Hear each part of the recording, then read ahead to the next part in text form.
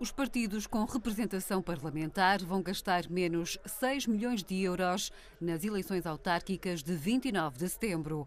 Este valor representa uma poupança de 14% face à despesa de há quatro anos. O Porto Canal contactou o PSD, Partido Socialista, CDU, CDS e Bloco de Esquerda e apurou que para a campanha eleitoral deste ano, os cinco partidos deverão gastar em conjunto perto de 38 milhões de euros quando em 2009 esta despesa ascendeu a 44 milhões de euros.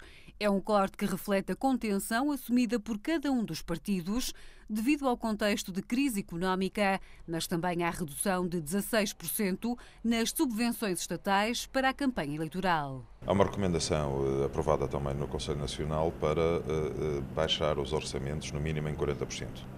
Eh, que pode significar andar acima de 7 milhões de euros. Porque se o país e as pessoas estão, fundamentalmente as pessoas, a sofrer, porque eh, porque há cortes, porque há mais impostos, também os partidos têm que dar essa lição e fazer a campanha com menos meios, gastando menos dinheiro. Nós estamos a recomendar a todos os candidatos que têm que haver contenção, não só porque não há disponibilidades financeiras para isso, mas até por uma questão de respeito próprias, pelas próprias populações que estão a passar uma fase muito difícil do país, com graves problemas sociais e económicos, e seria disparatado que os partidos políticos estivessem agora a fazer campanhas eh, de grande ostentação. Por razões de princípio, de possibilidades financeiras próprias, ehm, de libertação de interesses económicos eh, que naturalmente estão eh, presentes.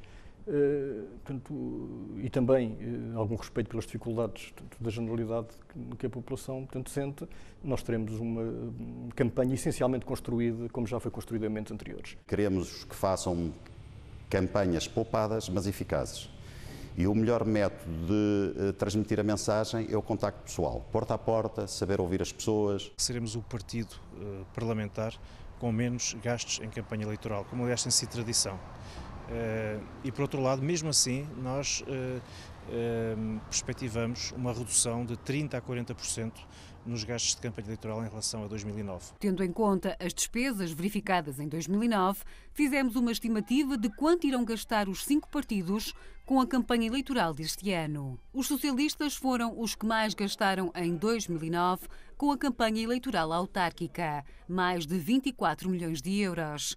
Para este ano, o partido de António José Seguro prevê uma redução da despesa, mas prefere não avançar qualquer estimativa. O partido de Pedro Passos Coelho, que despendeu perto de 11,8 milhões de euros em 2009, estima agora um corte de 40%, Fazendo as contas, dá 7 milhões e 100 mil euros para a campanha eleitoral deste ano. A Coligação Democrática Unitária, que junta PCP e os Verdes, também prevê uma redução da despesa para este ano, mas não quis precisar quanto. Em 2009, gastou perto de 4 milhões e 800 mil euros com a campanha eleitoral. O CDS de Paulo Portas prevê gastar menos 40% a 50%.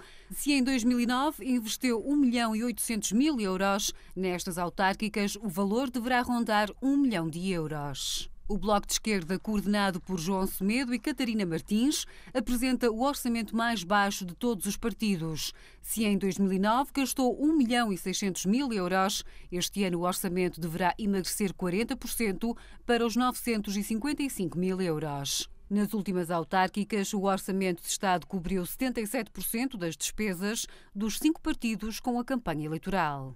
Esta segunda-feira termina o prazo para a entrega das listas de candidatos às eleições de 29 de setembro.